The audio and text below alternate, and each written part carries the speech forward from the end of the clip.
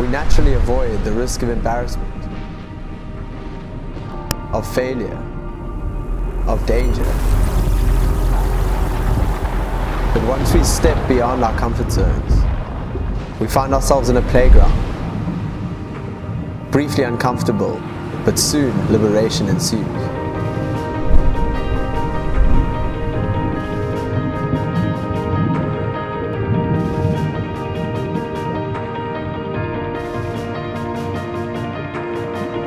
Our vigor and passion lies beyond our comfort zone and into the unknown, a realm of infinite possibility.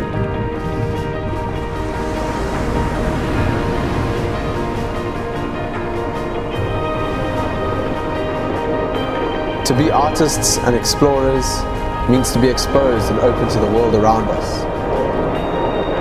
To be vulnerable.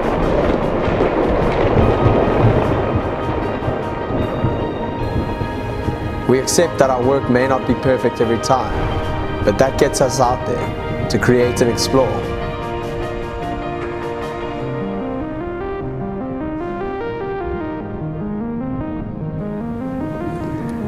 To us, work is often indistinguishable from play. It's what we're here to do.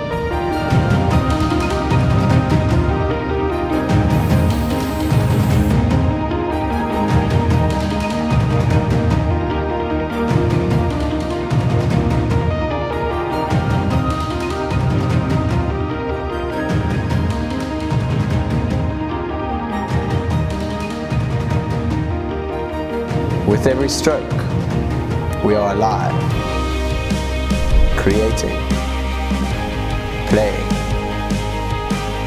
stroke by stroke.